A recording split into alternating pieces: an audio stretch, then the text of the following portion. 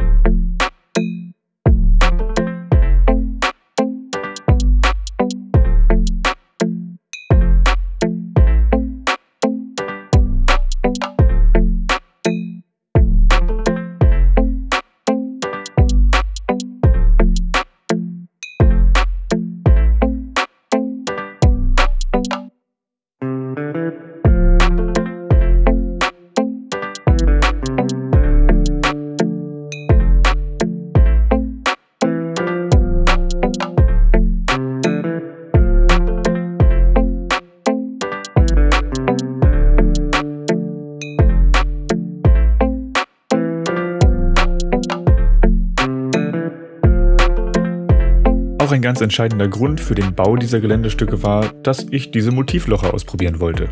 Sieht ganz gut aus, Blätterstanzen ist aber recht aufwendig und anstrengend. Kann ich trotzdem nur empfehlen, ich bin vom Ergebnis überzeugt. Sieht gut aus.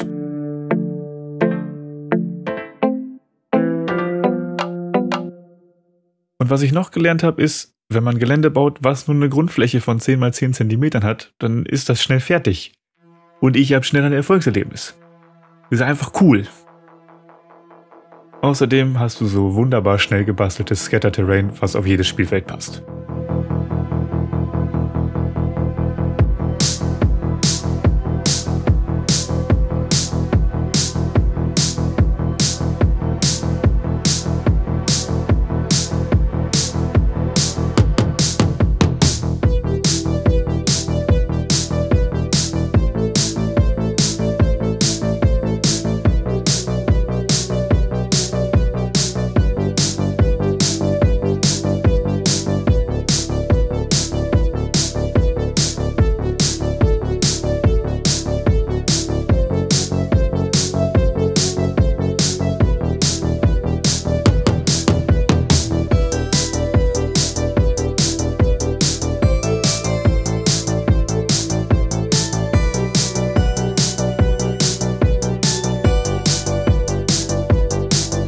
Wenn es dir gefallen hat, lass mir ein Like und ein Abo da und äh, ja, tschüss, bis zum nächsten Mal.